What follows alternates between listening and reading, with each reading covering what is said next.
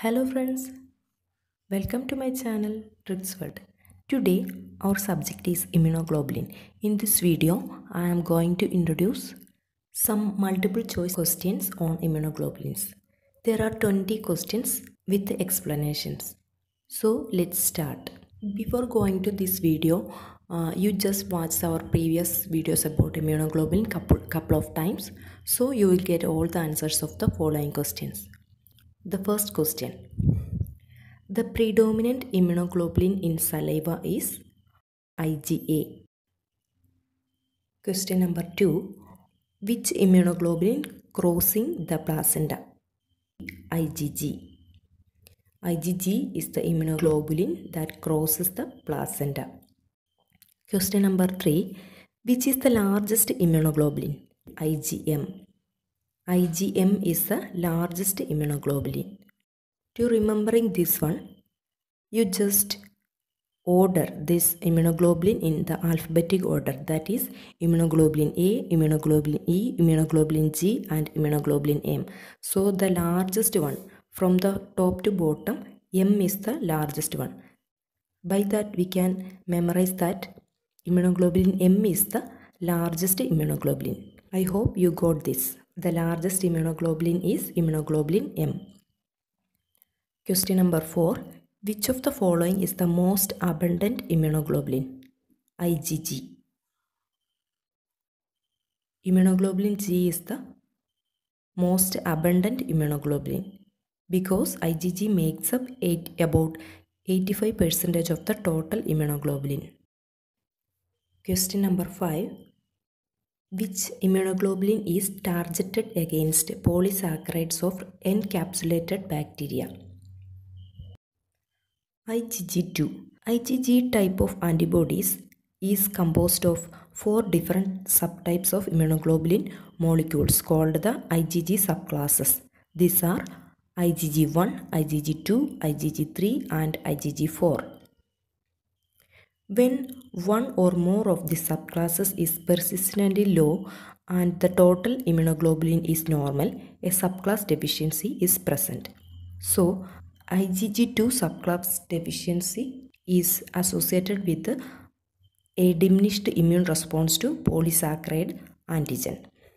Uh, when talking about IgG1 and IgG3, IgG1 and IgG3 subclasses are rich in antibodies against the toxins produced by diphtheria and tetanus bacteria as well as the antibodies against viral proteins.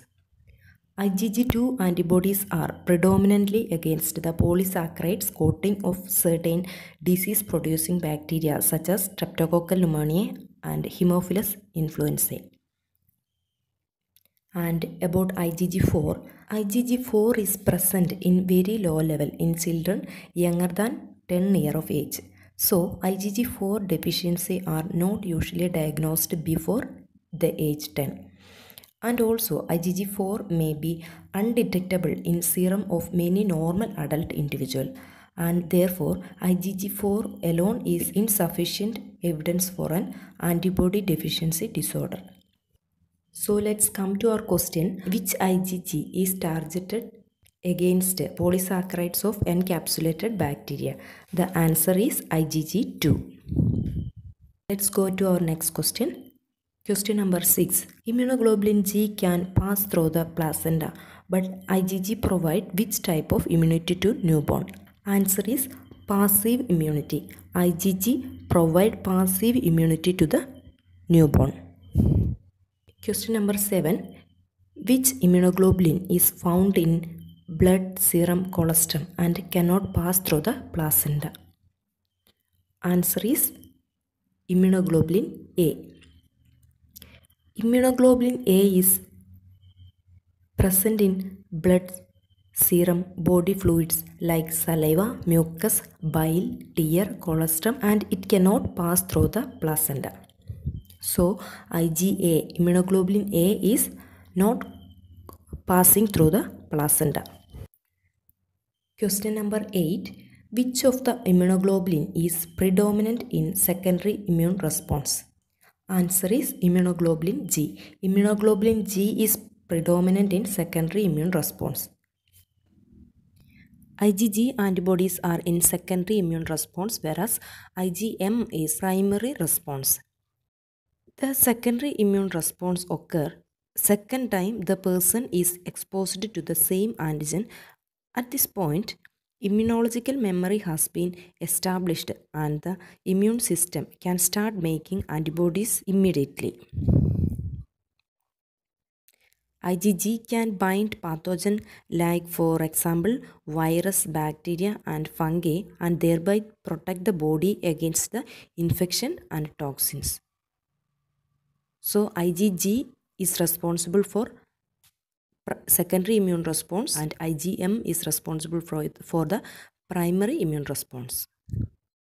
Question number 9. The smallest molecular weight immunoglobulin is? Answer is immunoglobulin G. Immunoglobulin G is the smallest molecular weight immunoglobulin. So that's why it is crossing through the placenta. The only immunoglobulin that crossing through, through the placenta is immunoglobulin G. And it is the smallest molecular weight immunoglobulin. When you think about IgG, you should remember one word that is cro-cro so that you will got two points about immunoglobulin G. That is, first one is it present in chron chronic infection that is secondary infection that is secondary immune response and the second point is it can cross the placenta so the two points are it can cross the placenta and it is the responsible for secondary immune response so remember the word cro-cro so let's come to next question Question number 10. Immunoglobulins are produced by which type of lymphocytes? Answer B cells. Immunoglobulins are produced by B cells. Antibodies, that is immunoglobulin, that are produced by a specialized white blood cells called B lymphocyte or B cells. When an antigen binds to the B cell surface, it stimulates the B cell to divide and mature into groups of identical cells called a clone.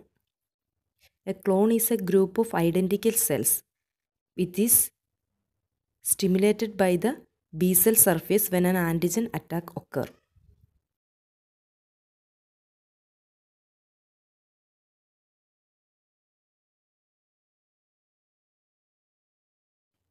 Question number 11. Which immunoglobulin act as primary response? Answer is immunoglobulin M. Immunoglobulin M act as a primary immune response. IgM. It is the first antibody to appear in response to the initial exposure to an antigen.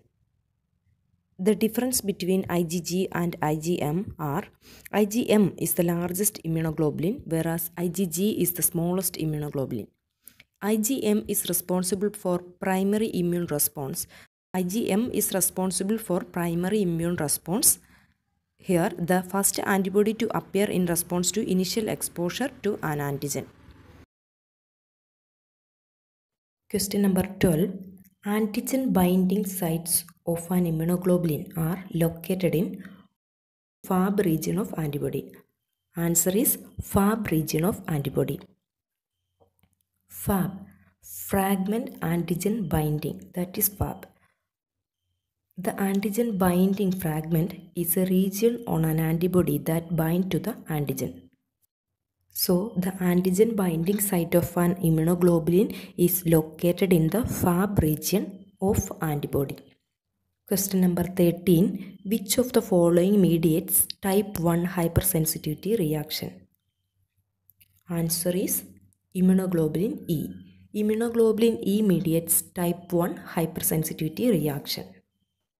The difference between a normal infectious immune response and type 1 hypersensitivity response is that in type 1 hypersensitivity, the antibody is immunoglobulin E instead of immunoglobulin A, immunoglobulin G or immunoglobulin M.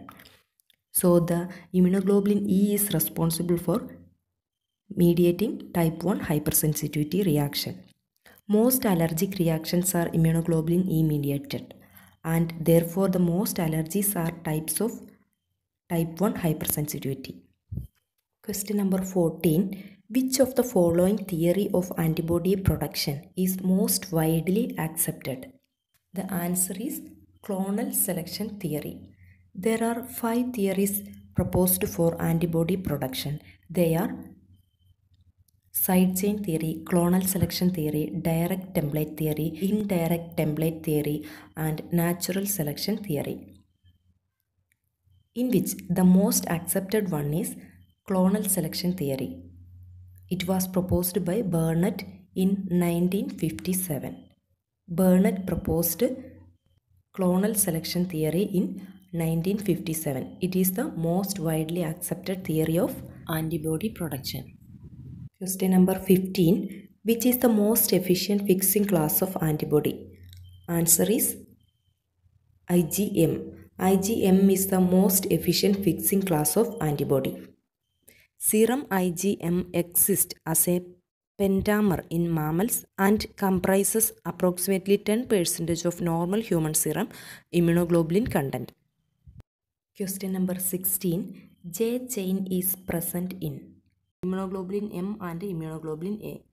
A J chain is a protein component of the antibodies that is present in immunoglobulin M and immunoglobulin A.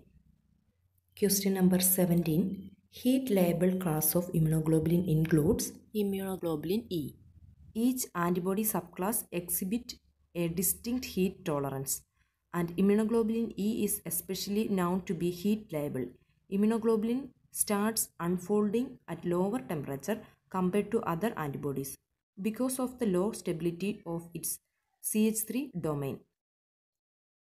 So the most heat labile immunoglobulin is immunoglobulin E. Question number 18. Which of the following is the phylogenetically oldest immunoglobulin? Answer is immunoglobulin M is the phylogenetically oldest immunoglobulin and also uh, one thing we can remember along with this is um, immunoglobulin M is the largest immunoglobulin. So remember this oldest and largest immunoglobulin is the immunoglobulin M. Question number 19. Anti-RH antibodies are IgG type. IgG is anti-RH antibody. RH immunoglobulin is a preparation of immunoglobulin given to a D negative woman during the pregnancy and following delivery of a D positive fetus. It can prevent anti-D hemolytic disease of a newborn. Question number 20. Which immunoglobulin does play a role in hypersensitivity reaction like allergy, asthma and also protect the body from Helminthic pathogen? Answer is IgE type. IgE is responsible for type 1 hypersensitivity reactions and it protect the body from Helminthic pathogen also. These are the 20 multiple choice questions on immunoglobulin. Now I, can, I am giving you some more tips to remember the main points on immunoglobulin. First of all, immunoglobulin A. Immunoglobulin A is present in body secretions like tear, saliva, bile, blood, colostrum and breast milk. So, IgA can be remembered as all secretions. A for all. That is it present in all secretions. Then comes to immunoglobulin D. Just you can remember it as D for differentiate. IgD can remember as differentiates B lymphocytes. That is, the function of IgD is to signal the B cells to be activated. IgE hypersensitivity allergy. In this too there is E. So it is easy to remember IgE mediates type 1 hypersensitivity reaction. Then comes to our IgG. The main point on IgG can remember with a word crow crow. That is, first point is that IgG can cross the placenta. The only immunoglobulin that can cross the placenta is immunoglobulin G. That is why it is the smallest molecular weight immunoglobulin. The molecular weight is 1,50,000 Dalton. and it make up to 80 percentage of the total immunoglobulin. So the next crow is chronic infection. That is immunoglobulin G mediates secondary immune response. Okay, so you don't forget this crow crow. By that you will get three more points together on immunoglobulin G. IgM, it is the largest immunoglobulin. It is easy to remember because if you write this immunoglobulin in the alphabetic order from the top to bottom, the IgM is the largest one. If you know the alphabets, surely you won't forget this IgM is the largest immunoglobulin.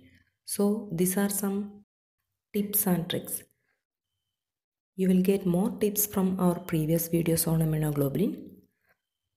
So friends, I hope you got all these points. If you like my video, like and share it to your friends and subscribe my channel and also press the bell icon so that you will get notifications if I am uploading new videos. So once again thank you. Thanks for watching.